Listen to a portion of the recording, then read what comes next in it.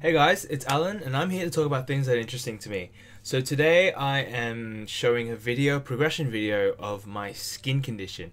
Uh, I've got a lot of acne and over the years I've accumulated a lot of scars and um, uh, pick type, pickaxe type uh, scarring which is like an indentation in, in your skin.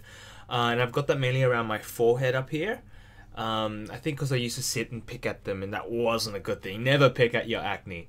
Um, so recently, I discovered uh, some YouTube videos about a derma roller, which is like a a rolling. It. I don't have it with me right now. It's in the bathroom. And I don't want to run out and get it, but it's essentially a rolling apparatus with needles in them, uh, and they're really microscopic.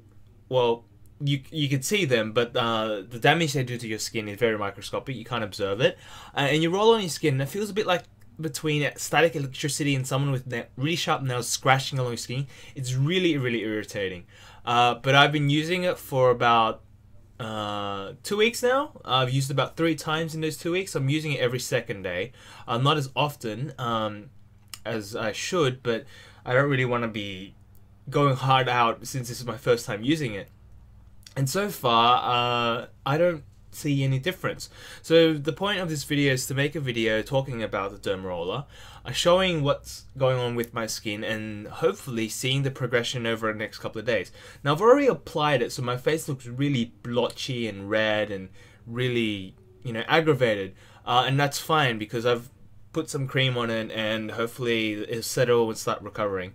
Um, the point of the derma roller is to cause these microscopic um, irritations, uh, which um, stimulate the fibroblasts under your skin cells. They they, they produce collagen and uh, I think fibrin and stuff like that.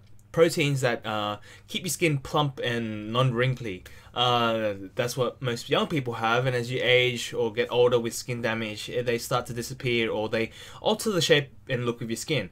So the point of that is I'm causing microscopic damage to especially around my forehead area, hoping to fill out those indentations, as so to speak.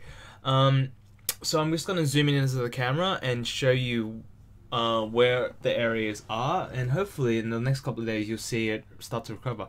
I've got this really obvious wrinkle line right across my forehead. I think because I use my eyebrows a lot. You can see it's really obvious there. So I'm going to try and uh, help fix that out. So you can see there, uh, especially here, you can see those indentation scars. Uh, they're not, they don't look so great. Um, and especially on this side, I guess not as clear, but you can quite see very, very obvious along here. Um, and some of my skin, there, there's just few areas of indentations. Uh, my nose has just bled a little, so that's fine. But you can see my nose has quite a lot of bumps and ridges. Uh, my chin, not so much. I think it's recovered quite well, surprisingly, because I used to get a lot of acne on my uh, chin. Um, but you can see right across my cheek there, and right across my cheek there. Uh, some some some of those uh, color colorations are actually just acne scarring, colored. Uh, what's the word for it? Melanin producing cells have like um, overproduced melanin, which just causes a darkening of my skin. Uh, the main thing to treat the main treatment for that is, is to use vitamin C.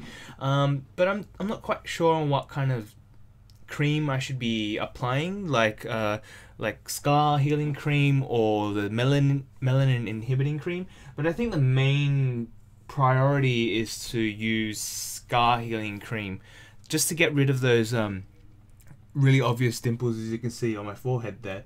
And then transition to you know vitamin C treatments just to get reduce the uh, coloration on my skin, and hopefully in the next couple of days I'll be looking much more healthier. anyway, um, I'm wearing a beanie because I, I want to keep my hair.